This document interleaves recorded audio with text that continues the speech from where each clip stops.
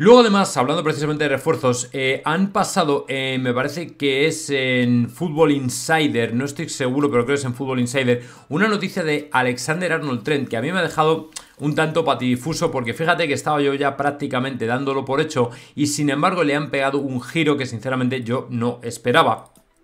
Porque al final te das cuenta de que este tipo de jugador, después de llevar 20 años en el Liverpool, ¿vale? Que se dice pronto, 9 temporadas en el primer equipo, ayer precisamente la publicación a ver qué la lea por aquí.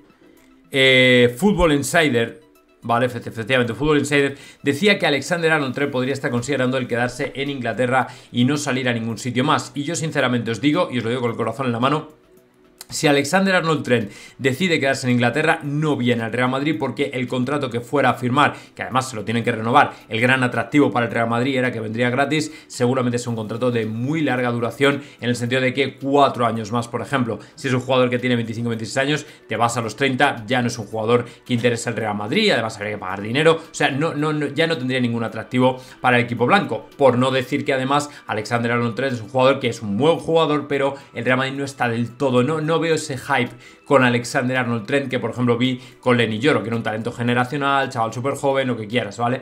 Entonces, bueno, pues eh, me da pena porque creo que era una buena posibilidad, sobre todo a nivel de poder buscar sustitutos, reemplazos a Carvajal, Lucas Vázquez, etcétera. Pero si el chaval al final pega un giro y ha decidido quedarse en Inglaterra, pues porque le convenza más el proyecto, porque dice, bueno, yo ya aquí conozco un poco la casa, tal cual, no sé qué, me parece genial, me parece perfecto, que haga lo que quiera, que lo vea como quiera. Pero bueno, en cualquier caso, creo que también era una buena oportunidad para él de firmar, era una buena edad para llegar al Real Madrid, venía gratis, yo creo que tampoco perdía nada, pero sí le ha entendido que Liverpool es su casa que prefiere quedarse en el Liverpool. y además te lo tienes que creer porque lo de Lloro, fíjate que lo teníamos en la mano y se perdió. Así que bueno, vamos a ver qué pasa también con Alexander Arnold Trent.